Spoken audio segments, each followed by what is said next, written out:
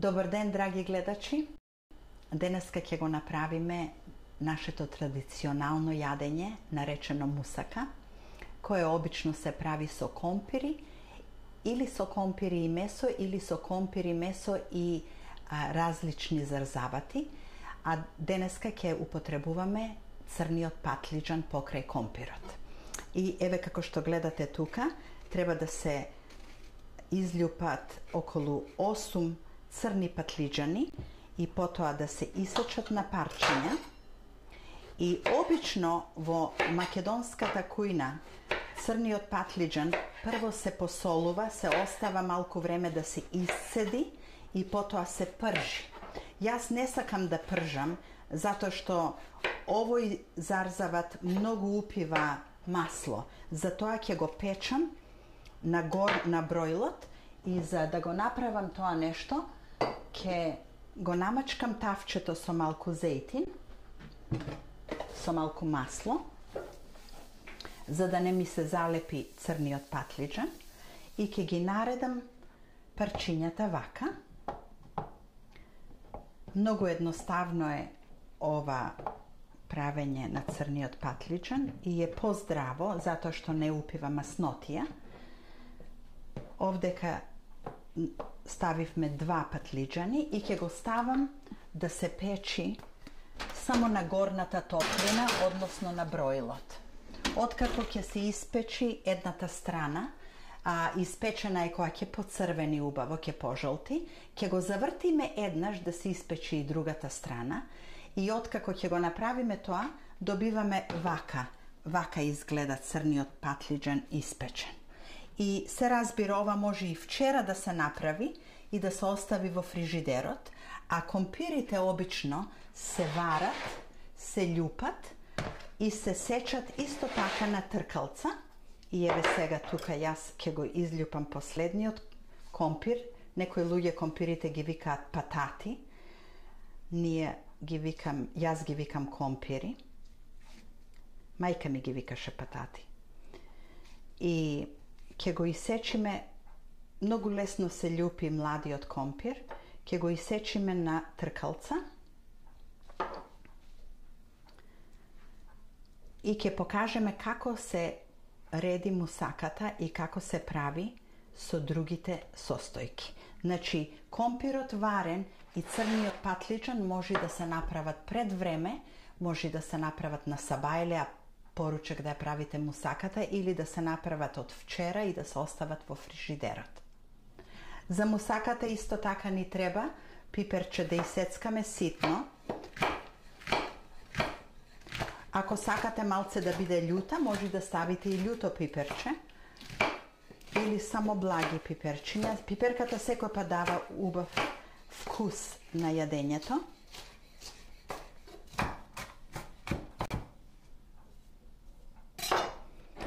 И исто така ни треба да исецкаме и домат. Полој на голем или едно мало домат, че не треба многу домата да се става во мусаката. Ке исецкаме така на коцки.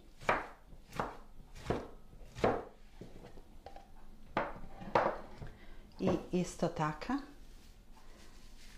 ќе сецкаме Макдонос, кој го употребуваме скоро во секое јадење. Макдоносот е исто така многу здрав, здрава миродија за јадење, особено ако се јади свежа.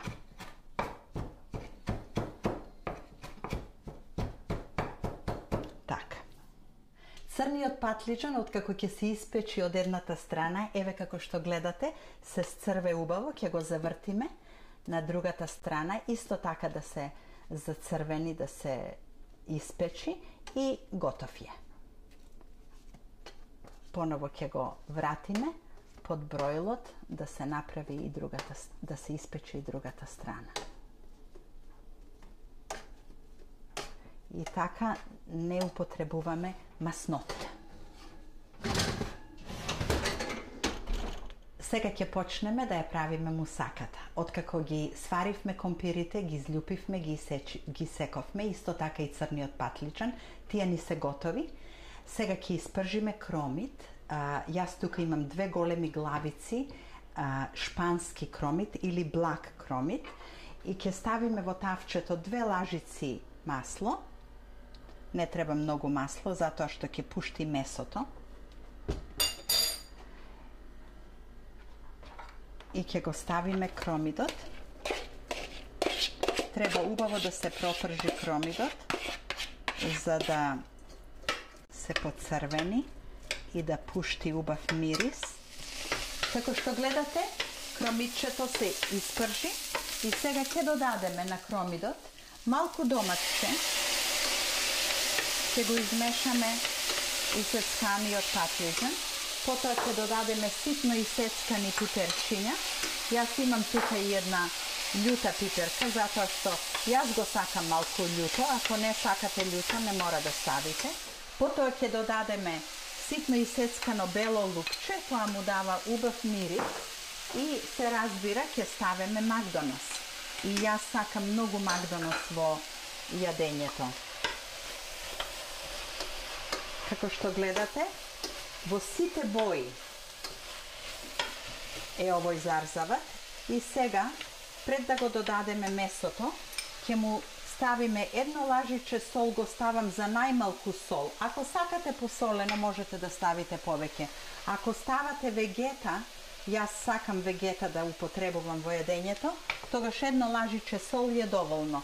Потоа ќе ставиме пола лажиче црн пипер и две лажичиња црвен пипер.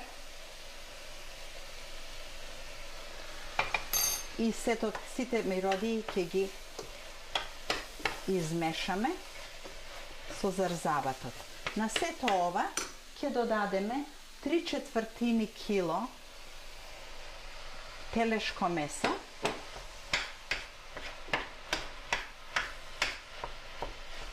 Телешкото месо е помеко од волското и е повкусно. А исто така ќе додадеме 3 четвртини кило свинско месо кое дава убав вкус и сето тоа убаво ќе го измешаме.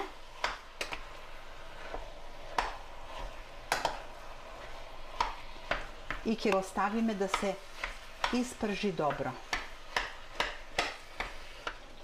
Откако го испрживме месото со сите зарзавати, еве како изгледа. Значи, ставивме тука кромит, пиперка домат, магдонос, сол пипер, црн пипер, а, малку вегета и а, свинско и телешко месо. Сето тоа е измешано, испржено и сега ќе ја составиме мусаката. Сега ќе ја составиме мусаката. Најдолу на таччето ќе наредиме еден ред компири кои се сварени. Не мора да се преварени затоа што уште ќе се ќе се печат во шпоретот, ама треба да се сварени зашто повкусна е мусаката со сварени компири и овие се убави пресни. На долниот ред не е важно како ќе се наредат, затоа што тоа ќе се покрие.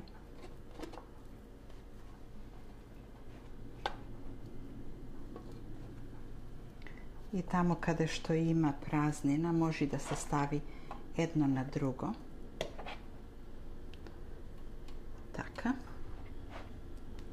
Уште малку да ги покриеме сите дупки.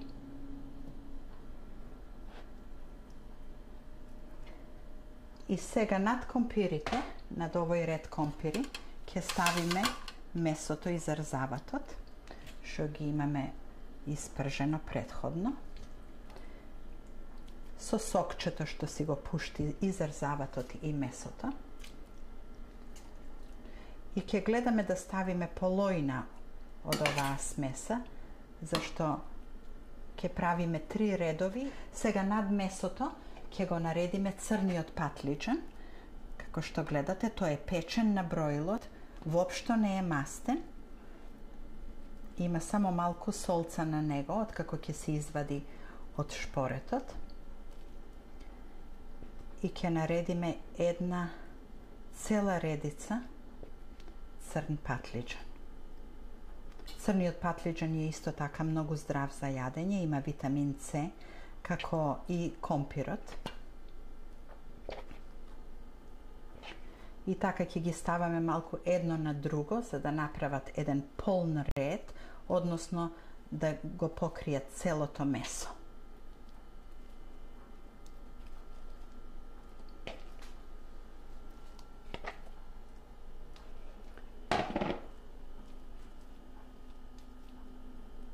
И ова точно стигна.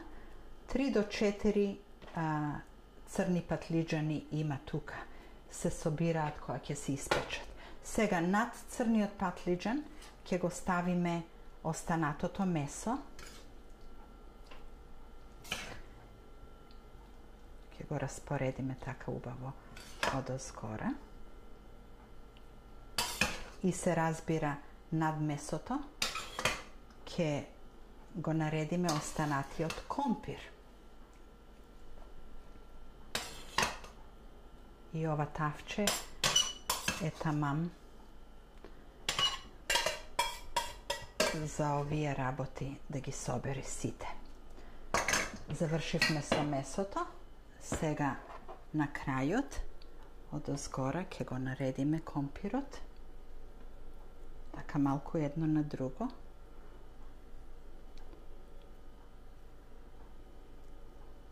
Сега Божем го, го редам последното. А, како што гледате, ги наредив сите компири од озгора и ја составивме мусаката. И сега во тенџерчето во кое го, го пржев месото, ќе скршам 4 јајца, ќе ги изматам јајцата, малку, не многу, колку да се состават.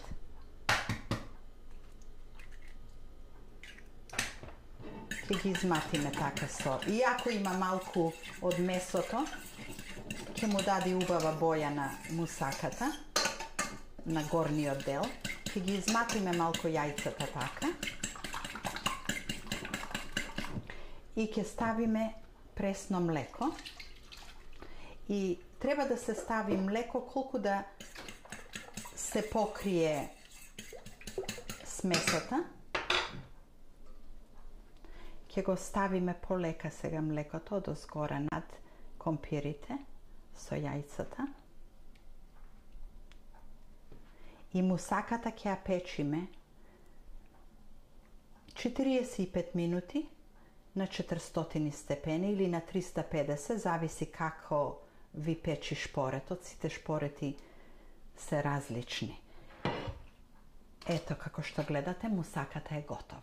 Мусаката сега ќе ја ставам во шпоретот да се пече на 400 степени за 45 минути.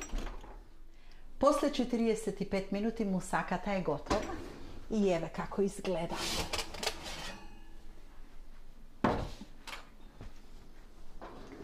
И сега мусаката се сечи на парчиња. Всушност се сечи на коцки и се сервира како главно јадење со салата, може кисело млеко, а, или што друго било бат. Има се во неа, има компир, има месо и има зарзават. Со ова се смета како потполно јадење, како комплетно јадење.